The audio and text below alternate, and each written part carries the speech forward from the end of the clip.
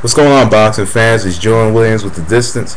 I have a video for you guys today. I didn't want to make a video today, but I just saw a matter that was quite interesting. Joan Guzman does not make weight for the second time in his career. This is ridiculous. Let me tell you guys the, stip the stipulations if you haven't heard about it. Golden Boy comes in after Guzman does not make the weight before he comes in nine, you know, after he comes in nine pounds above the weight limit, they come up with the stipulation of, well, this is what we'll do. We'll weigh in again on Saturday, and we'll make, and we'll do this. We'll have Guzman come in under 150 pounds, and Funeka comes in below 145 pounds. How odd and how ridiculous does that sound? Um, a catch weight basically, or for a championship fight, for a lightweight championship fight, a catch weight where two fighters have to be below certain weights. And honestly, that's unfair. That Guzman, one, got a title shot that more than likely kind of didn't deserve, and two, that he continues to come in below the weight limit. I mean, above the weight limit, excuse me. Now, why does Funeka have to conform to these plans? Why does he have to come in below Guzman? Why does he have to work hard and make 135 pounds and Guzman doesn't? Because it, it was about two, three years ago when Guzman was fighting at 130 pounds and making the weight. But when he moved up to 135 pounds, he didn't make it. He, he was like 138 when he came in against Nate Campbell, and the fight didn't happen, of course.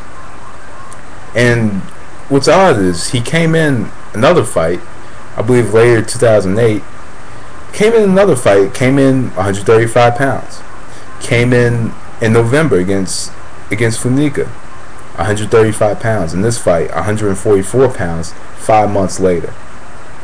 And in boxing, it's your job to stay in shape. It's your job to know how high you can go in between fights. And it's your job to know, you know, the limitations of where your body can go. And apparently Guzman fails to do this. So why is so tell me this, why is this fight still gonna happen when one man can win the championship and the other man can't? When the when the man who's going to have the the weight advantage in this fight, the man who didn't pretty much who pretty much didn't do all the hard work, you know, is fighting basically for no reason. When he's getting a lot of his fight purse taken away from him, and you know, if he wins, the the title goes vacant, and we're gonna and more than likely we're gonna see Funeka in this situation again possibly fighting for another champ for another IBF championship.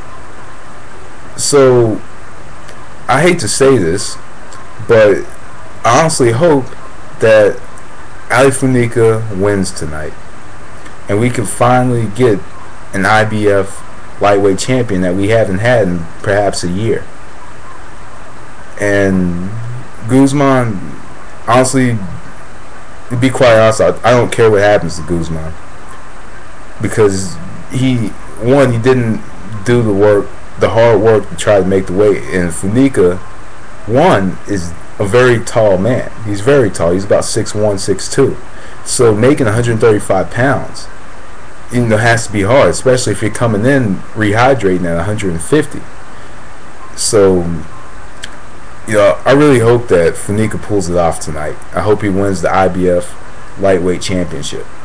And Guzman, like I said, I don't care what happens to him. Um, if he gets knocked the fuck out, he gets knocked the fuck out. You know, if he if he gets outboxed, whatever. I don't care what happens to Joan Guzman in this fight.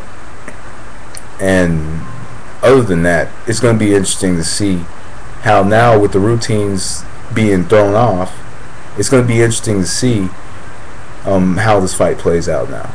But anyway, I don't care what anybody has to say about this, whatever. I'm just gonna I'm just here giving my opinion. But anyway, that was distance. Thanks for watching. Peace.